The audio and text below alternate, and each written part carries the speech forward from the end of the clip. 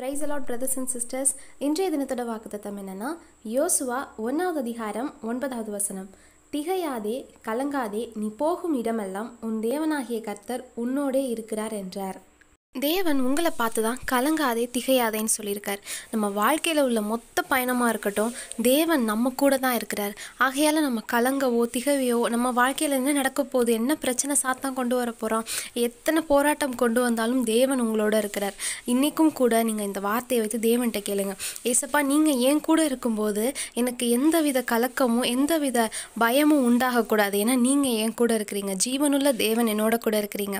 என்னோட எல்லா பிரச்சனைகளையுமே நான் உங்கள் கரத்தில் ஒப்படைச்சிட்டேன். நீங்கள் பொறுப்பேற்றுக்கொள்ளுங்க நீங்கள் பார்த்துக்கங்கன்னு சொல்லுங்கள் அவர் கண்டிப்பாக பார்த்துப்பாரு எந்த ஒரு சாத்தான் கையிலையுமே அவர் நம்மளை ஒப்பு கொடுக்க மாட்டார்.